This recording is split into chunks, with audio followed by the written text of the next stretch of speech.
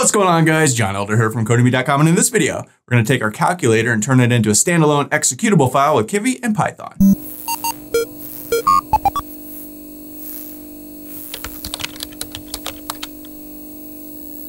Alright guys, like I said, in this video, we're going to turn our calculator app into a standalone exe file for Windows and Mac.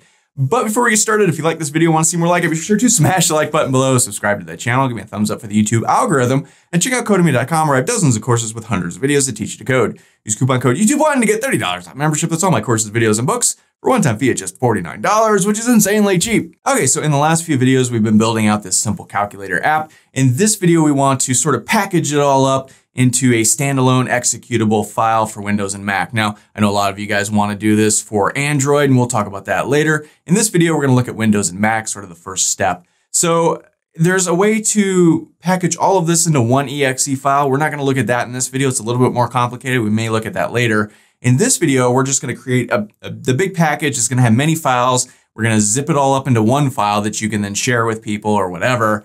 Uh, and that's sort of the basic way to do it. So go ahead and close this. Now we're not actually gonna make any changes to our code so far, except I'm gonna move it from the current directory into another directory just to separate it from all the other stuff we've been working on up until now. So I'm gonna pull up a file explorer and I'm just gonna go to our C drive and then find the directory we've been working in, Kivy GUI. And you can see here is calc.kv and calc.py. I'm just gonna right click, I'm gonna highlight them both, right click and click copy. And then I'm gonna come up here and I'm going to create a new folder and let's just call this calc or calc. Eh, calc is fine. So it really doesn't matter what it's called. So let's open this and I'm going to right click and paste in our two files that we've been working on. So, okay, let's now pull up our Git Bash terminal. Okay, so we've got the Git Bash terminal. Now make sure you've got your virtual environment turned on.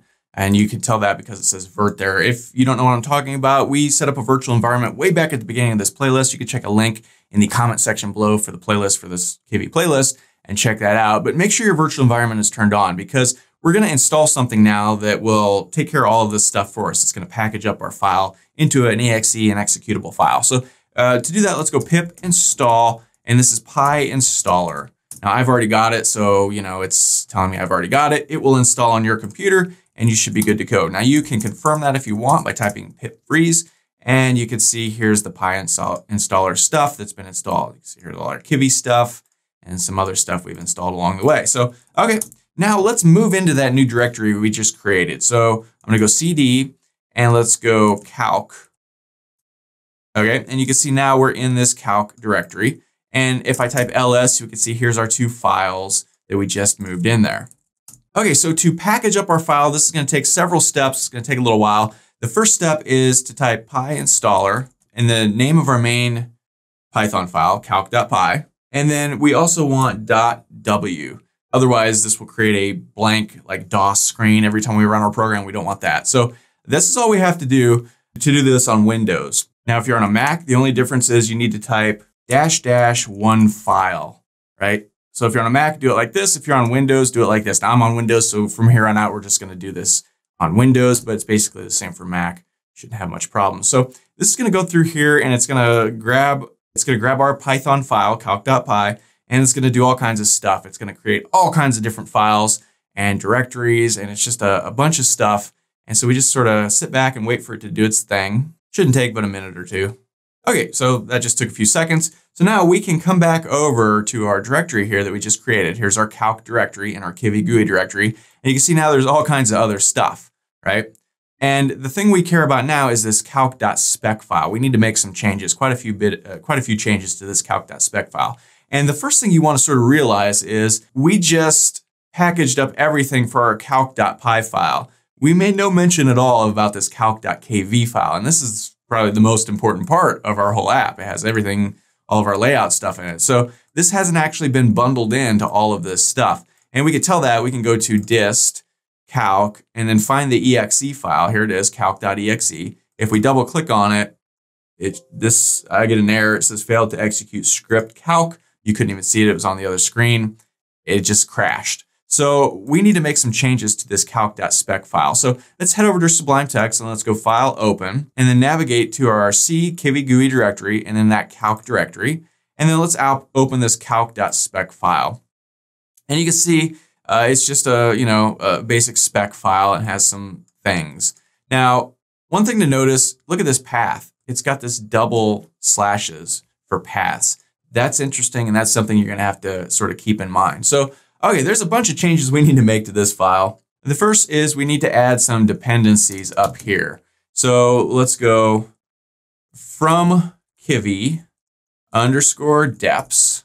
We want to import SDL2 and glew, right? We don't really know what these are. We don't really care what these are. We just need to put this here. If we don't, this isn't going to work. So that's the first thing we need to do. Now we need to come down here and designate our calc.kv file, right? We need to tell our program, hey, we've got a KV file. We need to include it in here. So uh, I'm looking here between this PyZ and the exe. So after this, we could just kind of make some space here. And I'm going to go a dot datas, right? And then plus equals, and then square bracket, and then parentheses, and then code backslash calc dot kv, and then a comma, and now quotation marks. And then we just need to put the path to our calc.kv file. So remember these weird double slashes, we have to put that there. And now this is in C slash slash Kivy GUI, that's our main directory, slash slash calc, that's the directory we just created. And then calc.kv, that's the name of our file, right? Okay, so then we need to put another comma and then data, all in caps, right? Make sure to close our parentheses and close our square bracket. So, okay, that's good there. Now we need to come down to our call and we need to tell the PyInstaller to kind of look in a directory and grab all the stuff that it sees just to make sure. Because, you know, this may work, may not work. And we also need to reference these things that we just imported. So we do all that down here in call equals collect. Right after the exe, I'm going to put tree and then parentheses, and then again, C colon slash slash, and then Kivy GUI slash slash calc slash slash, right? And then we need a comma after that. And then looking through here, we've got our binaries, our zip files, our datas. After datas, and before this equals to thing here, we need to add one more thing. We need to go star, square bracket, tree, and then parentheses P, and then for P in more parentheses SDL2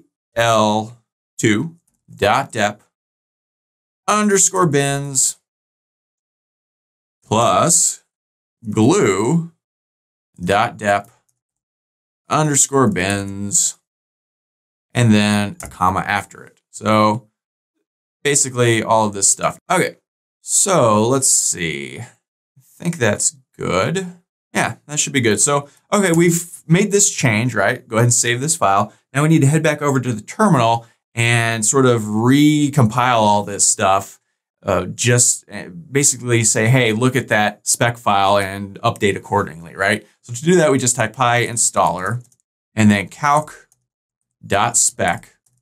And then we need to give this a dash Y flag. This will delete all the stuff that we've already done. So inside of here, we've got, you know, all of this stuff, right? It can't override those things. It needs to delete them and make them again. So that dash Y gives it permission to do that. It says, yes, go ahead and delete those things. And this is calc spec because that's the name of that file we just modified right here, calc.spec, right? So go ahead and hit run on this. And this should just take a second. It should be quicker than the last one, unless there's errors. Okay, so it looks like it was completed successfully and we're good to go. So let's head over here and we could test this out. We could go to our dist, that stands for distribution directory, and then calc, and then scroll down here and look for our calc.exe, double click it. And if it worked, it should pop up, and it, sure enough, it did. 8 times 9 equals 72, minus 2 equals 0.0, go back. All right, and it seems to work. And we've got our little icon it's added because we did the tree thing. And uh, very cool. So that's all there is to it. A little complicated, a little convoluted, but not too bad. Now you're going to ask yourself, hey, there's a lot of stuff here. How do I share this with my friends or something, right? Well, like I said, there's a way that you can make this all into one exe file, but it's super complicated and we're not going to talk about it in this video. It's kind of finicky and it doesn't always work anyway. So this is probably the better way to do it. But to share this now, we could come over here to our calc directory, right? Inside of here, it has all of our stuff. And we can just sort of, I just press my mouse button and drag this up, or you can hit control A on your keyboard to highlight all this stuff. And let's just right click and let's go send to compressed zip folder. So I'm gonna zip this all up into one big folder, right? And here it is, calc.zip. You can call it anything you want, rename it if you want. So now we can go ahead and cut this and say I shared this with a friend, right? I emailed it to them, I Dropboxed it to them, however you want. They downloaded it from my website and then they saved it on their computer. I'm going to save this in a folder called uh, My Calc, I guess. And so let's right click and paste in that zip file that we just zipped all up. Now this is one file, right? So you can send this to people or whatever. Now to open this, they would just double click it and they come up here to extract all. And when they do this pops up, it says, where do we want to extract all those files? Uh, I'll just keep it in my calc slash calc. So or we could just do it like this, I suppose. Just do it in the my calc directory, whatever you want. Extract these things anywhere you want. And when you do, this box pops up. It's, it's unzipping that file. And now when we go back to C slash mycalc, now all those files are there, including this calc.zip. Now we can delete this if we wanted to, or just keep it or whatever. So now you can instruct your people to click on the dist folder and then the calc folder and then find calc.exe and double click it. And you're good to go. If you want to be really sort of uh, sneaky, I suppose you could maybe try creating a shortcut before you zipped all these up and then cutting it and then pasting it right here.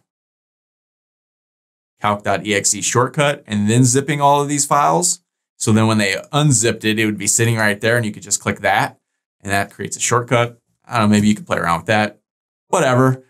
Uh, but that's all there is to it. So uh, not too difficult to make an exe file for Windows. Like I said, same thing for Mac. You just uh, change that dash dash one file flag at the very beginning and you should be good to go. So that's all for this video. If you liked it, be sure to smash the like button below, subscribe to the channel, give me a thumbs up for the YouTube algorithm, and check out codemy.com where you can use coupon code YouTube1 to get $30 off memberships to pages, $49 to access all my courses, over 47 courses, hundreds of videos, and the PDFs of all my best-selling coding books. Join over 100,000 students learning to code just like you. My name is John Elder from Codemy.com, and I'll see you in the next video.